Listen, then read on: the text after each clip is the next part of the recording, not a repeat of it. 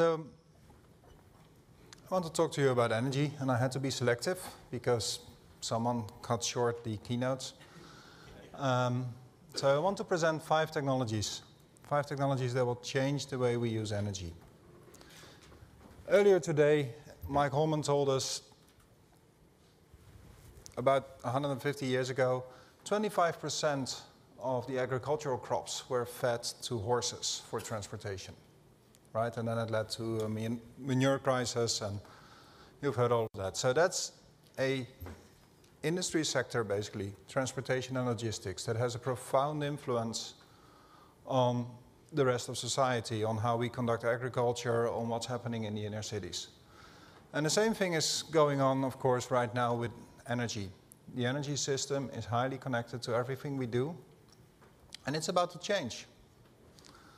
And I think it's about to change quite profoundly. It's about to change from basically the energy system we had that was established during the industrial revolutions about 200 years ago to something else.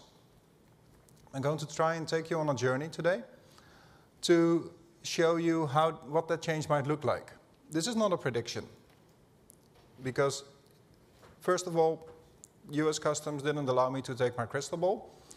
Secondly, I don't have one.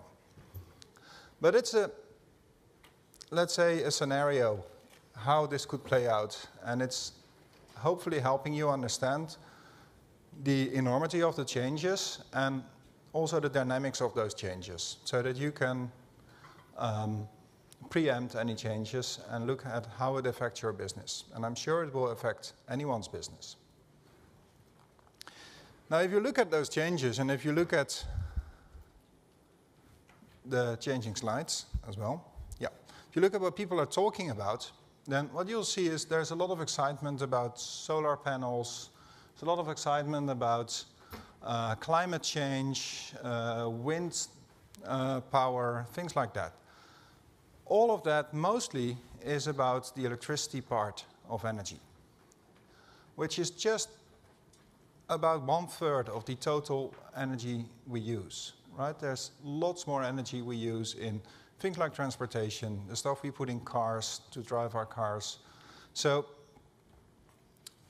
if you look at this, you might get the impression that there's a huge amount of change going on. But at the same time, um, you only see a part of the picture. The other thing is, a lot of people are talking about CO2 and about reducing CO2 emissions. Now, there's good reasons why people are talking about that, and we all know them. The problem I have with the whole CO2 debate is it's not helping us in finding out what actually is needed and how the energy system is changing and what is driving that change. Because CO2 as a driver for change has been very whimsical, right? It's not a steady course, a steady direction. There's a lot of debate about it. There's, there, there are other drivers that are much more fundamental and that are much um, more reliable and much more predictive about what's going to happen. And I'm going to talk about that today. So let's go back to the start of the Industrial Revolution. Let's go back to 1825. In 1825, one of the main scientists was Michael Faraday. And he was working on electricity, actually. He was, his claim to fame and a rightful claim to fame was mostly about electrochemistry. He also was aware of the fact that science at that time was really deeply changing society, and he wanted to popularize science. He wanted people to be aware of what's going on in the scientific world. And to do that, he organized the Royal Institution Christmas lectures. I don't know, anyone attended or seen a Christmas lecture? Two fingers, I think do have a look at it. The BBC is broadcasting them. You can have a look at YouTube. They're still there. Every Christmas, there's a Royal Institution Christmas lecture by a high profile scientist that is really usually making wonderful explanations about uh, what's going on in his area. So, of course, Faraday was doing electrochemistry, so he would have done electrochemistry, right? No, he didn't. His Christmas lectures, and his, the bulk of his Christmas lectures, he gave about eight. The bulk of his Christmas lectures were in 1848 to 1860 in that period. So while he started them in 1825, he had the courtesy of inviting others to do the first lectures. His Christmas lectures were about candles. Why candles? Because the Industrial Revolution was about energy, was about harness, harnessing energy to get rid of that manual labor that Mike was talking about earlier. And the most visible, the most direct manifestation of energy for the people he was talking to, his general audience, the people in Britain, at the time, of course, was burning a candle. It was creating light, it was creating heat. So burning something was really the manifestation of energy. And it still is. We moved combustion a little bit out of our house. We are not, no longer burning candles, we're just switching a light. But the electricity that's fueling that light still very much comes from burning stuff. 93% of our energy, and this is the, the scope here is the OECD countries in 2014, based on IEA data. 93% of our energy is still based on combustion. Very similar to what basically happened in the um, Industrial Revolution. So prior to the Industrial Revolution, any industrial large-scale energy that we harnessed was usually based on wind or water, right? So we had mills, either windmills or water treading mills. The Industrial Revolution changed that. You had the steam engines that were doing this direct drive. Later on, you had uh, electricity. We still have all that, and still 93% is combustion based. Why do I emphasize that combustion based a lot? Well, first of all, because I graduated on combustion, so I like combustion a lot. And secondly, because combustion is precisely what is wrong with our energy system currently. It's really where there are limits that we need to overcome. The first limit was already discovered by that guy. Anyone know that guy? A few hands again. This is Mr. Carnot. Here in the uniform of a um, uh, French engineering corps. He was in the French army. He was basically tasked with calculating um, the trajectories of projectiles, right? Artillery shots, trying to calculate them. But on the side, he was also fascinated by energy. And he basically imagined that getting energy out of heat was much like getting energy out of a hydropower, out of a water mill. So he was imagining heat flowing from a high level, a high temperature, to a low temperature, and in the meantime driving a turbine or an engine. Right? And that was actually a very fruitful um, idea that he had. He, the, the thing that was going down, he called calories. Right? So something is flowing down from high to low temperature, and that something is a calorie, according to him. So there's two types of people that are still cursing Mr. Carnot for ever having those faults. One is the people that are still counting calories. Who's counting calories here? The other one is every engineering student since because Carnot found that you have to reject heat in order to get energy out of heat. There is a true limit to the efficiency you can get out of a heat source. So whenever you burn a fuel, you create heat. Once you've burned it, you cannot recover the energy in the fuel to a larger extent than what Mr. Carnot has already calculated. There is a true limit to how much energy you can get out of a combustion process. And that's not the only limit. The other limit is, uh, as the people in London found in 1952 and before, uh, or as the people in China are still finding out, there's emissions associated with it. And nowadays we're talking a lot about CO2 emissions, but there's other emissions. There's particulates, there's uh, nitrogen oxides, there's sulfur oxides that are really a big problem if you conduct combustion on a larger scale.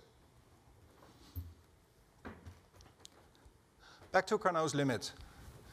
Carnot's limit is really very real. If you are planning to use energy for heat, it's not so much of a problem because you don't care how much heat you can then convert into electricity. But if you're planning to use combustion for something else, like driving your car, you end up with a very low efficiency. So basically, our energy use, if you look at the use part, you can break it down into three major parts that are about, in terms of input, about equal.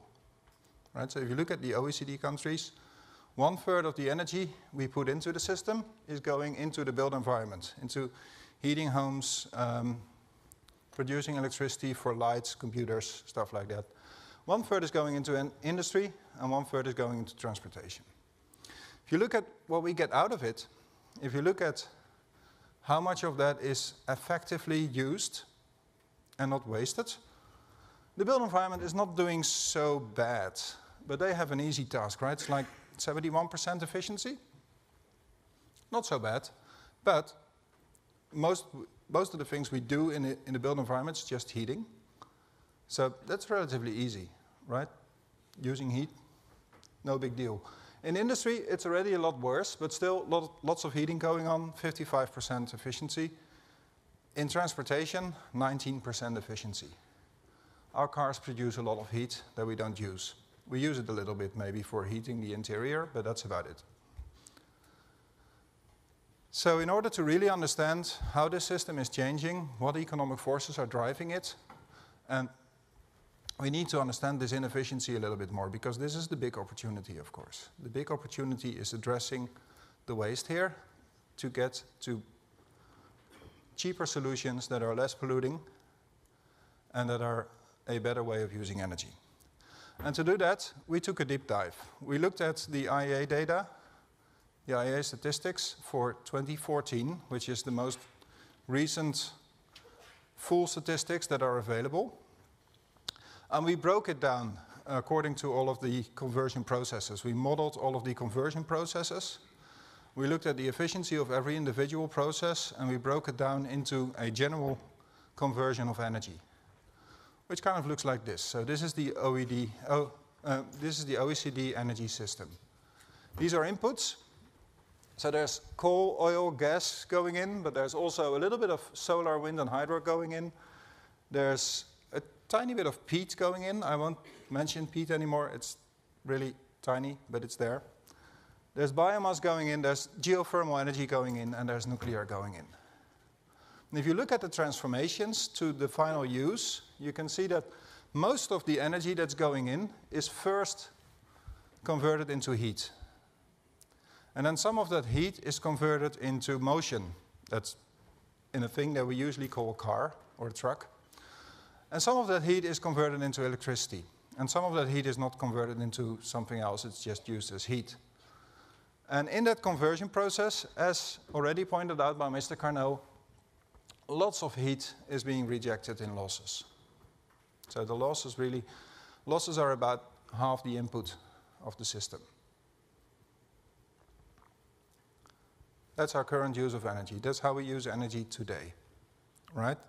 There's, by the way, um, there's a tiny bit of electricity getting into motion also there.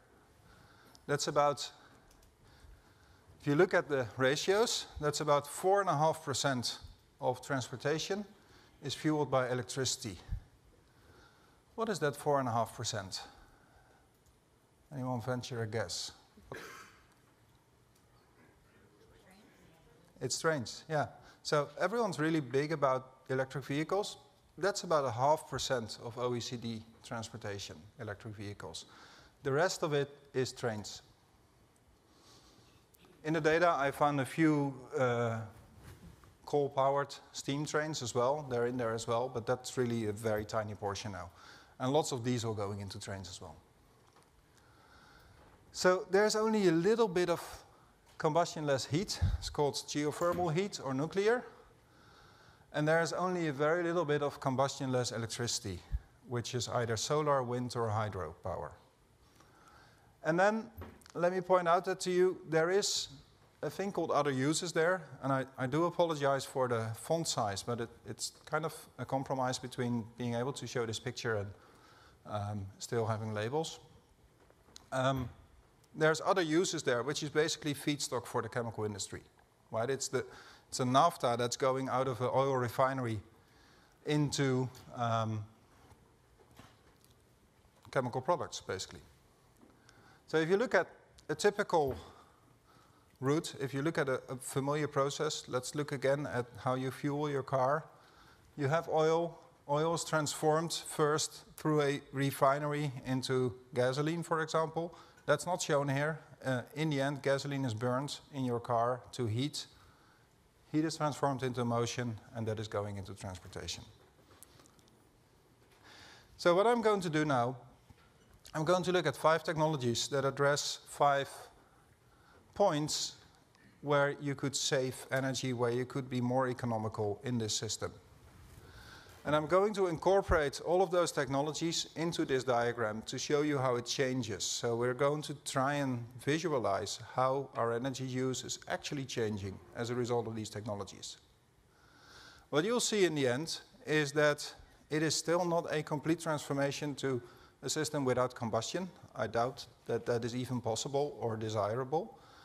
It is also not a complete transition to uh, move away from fossil fuels, which is somewhat educational maybe, because that is actually very, very hard to do, although you can reduce the fossil fuel consumption a lot. Also, those five technologies are not the only five technologies around. And later today, um, Katrina Westerhoff, right after the break, will talk about what's happening to the grid and what's happening to um, energy storage, for example. And tomorrow, Brent Giles will zoom in a little bit more on this part with oil and the other uses and the future of oil refineries. So I'm not mentioning that at all, except right now. So what's the first part where we can be more economical? If you look at how we heat our homes, that was pretty efficient, right? Built environment was 71% efficiency. We can be way more efficient. Using heat pumps, we can convert every um, joule of, a joule of electricity that we put in into five joules of heat, basically. So actually we can raise the efficiency, defined like that, above 100%. If you look at what it means economically, you can see the levelized cost of heat um, from natural gas and from a heat pump, and they're pretty similar right now. 2014, it was actually cheaper to heat your house using a heat pump. Right now, gas prices have dropped a little bit, but still, it's not bad. And there are parts of the world where it actually makes sense to install a heat pump rather than a gas-fired heating boiler. And if you add to that other innovations like this one, where solar PV is combined with solar heat collection, this is a UK-based company that is promising to launch its products for mass production somewhere around this year. I think they are struggling a little bit to um, find the money for mass production facilities. So any investors around, please have a talk to these guys. I'm waiting for their innovations to put on my house.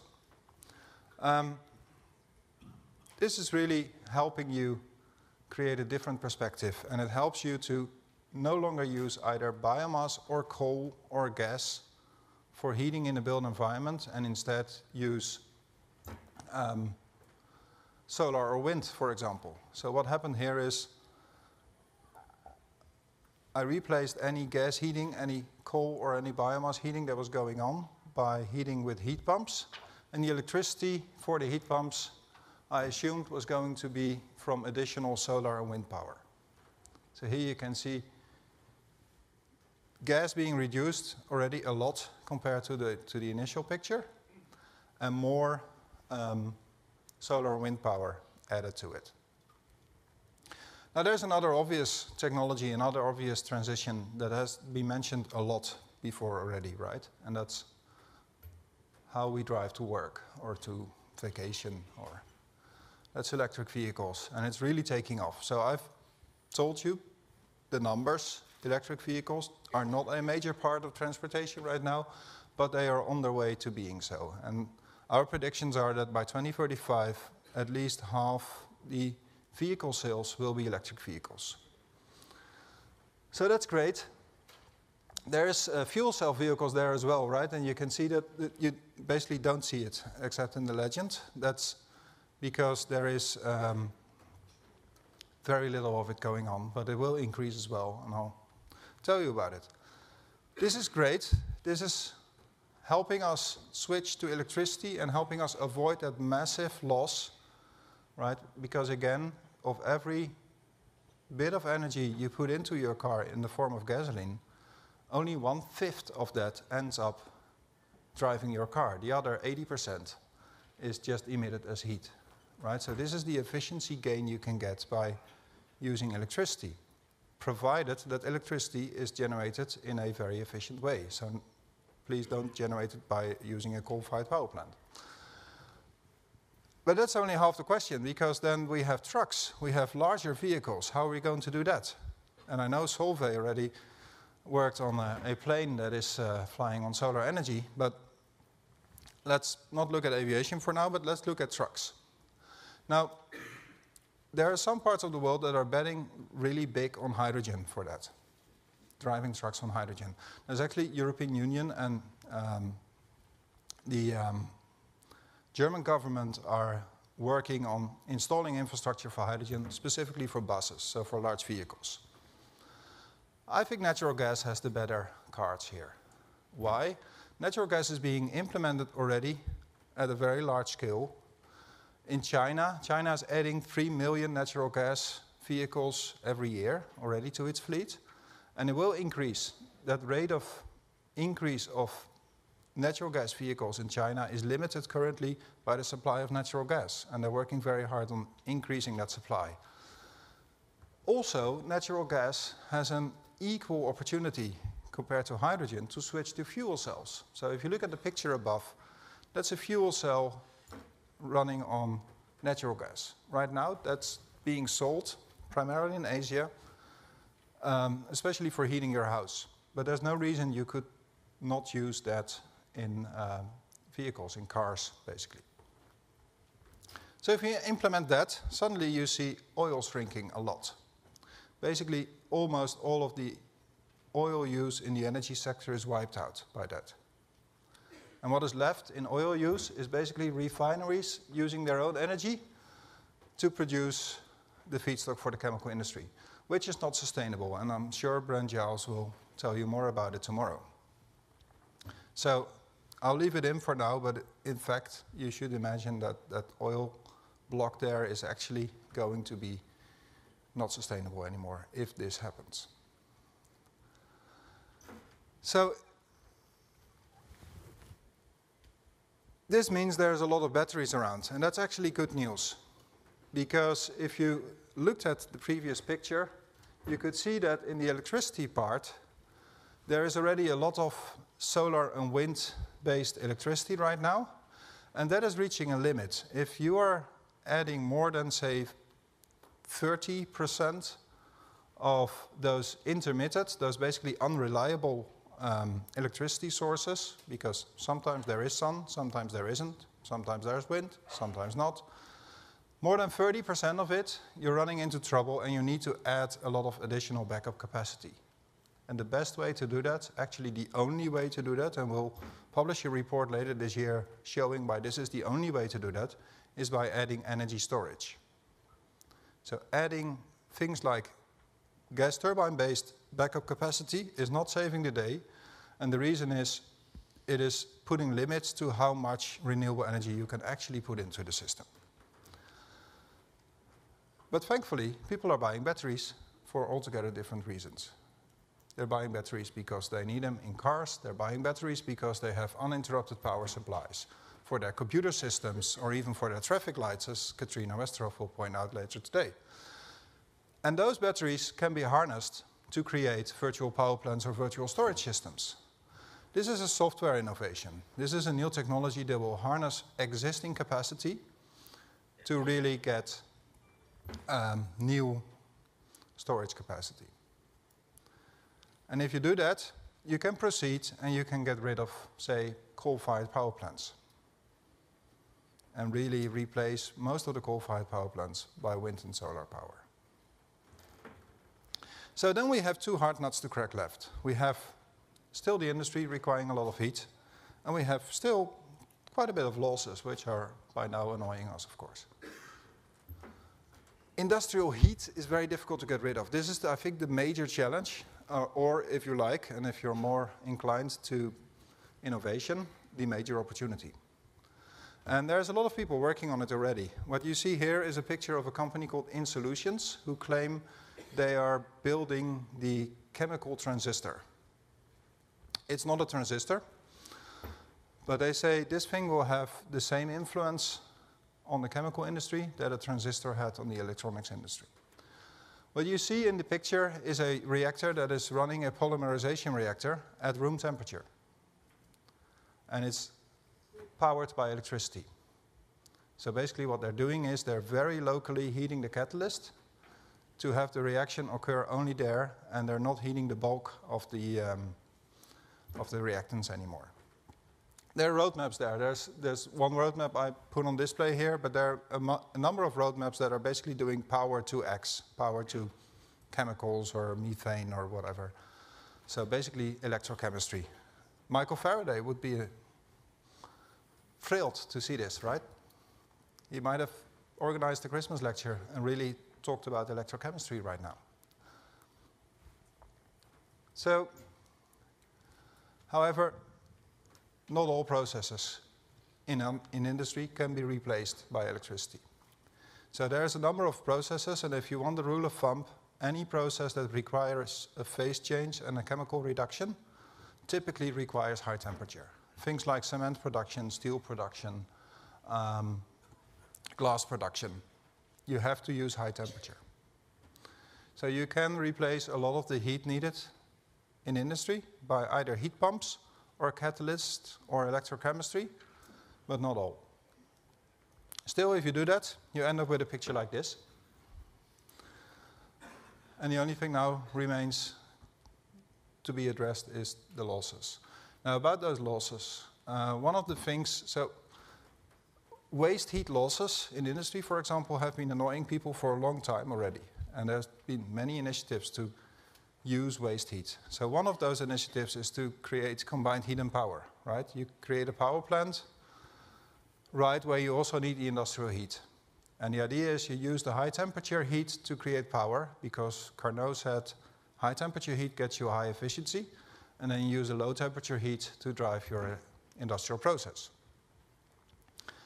That's one way. The other way is to have big pipes uh, pipe the heat to your um, location where you need it, right? So district heating systems and things like that. I really think the future is about kind of an inverse combined heat and power because we need the high temperature heat for those industrial processes that are very difficult to convert. So it makes more sense to use the high temperature heat and then you have a waste heat left and we're getting more and more interesting technologies like the one developed by Triogen, who's developing organic Rankine cycle technology to use low temperature heat to still squeeze out some of the electricity. Why? It's just cheaper. It's more, it's a better infrastructure to have electricity lines carrying away some of that energy than to install very expensive district heating pipelines that are expensive to run, that require lots of insulation, that you don't run all year because sometimes people don't need heat, sometimes it's really warm. So really this is something that will help you address some of those losses. And then at the end, you end up with a 40% combustion-based system. Remember, we went from 93%. If you implement all of these technologies, you end up with 40%. And on top of that, you end up with 50% less energy input required. That is where this journey takes us if we implement those five technologies. Great. So you may wonder, when does this happen? When are we getting there? Well, the energy system is highly optimized, right? So you must analyze it as a whole. If you single out one thing, you don't understand the dynamics, things are going to get you by surprise. You're relying on oil, but somebody else is busy abolishing refineries. You're caught by surprise. Also, I think the major driver here is inefficiency related to combustion, which is both inefficiency in terms of emissions, pollution, and inefficiency just in terms of what Carnot already pointed out. And there are a lot of technologies that are not obviously related, like um, introducing electric vehicles, which allows you to abolish, uh, to close coal-fired power plants. They're not related, but they're interplaying anyway. You have to see those connections.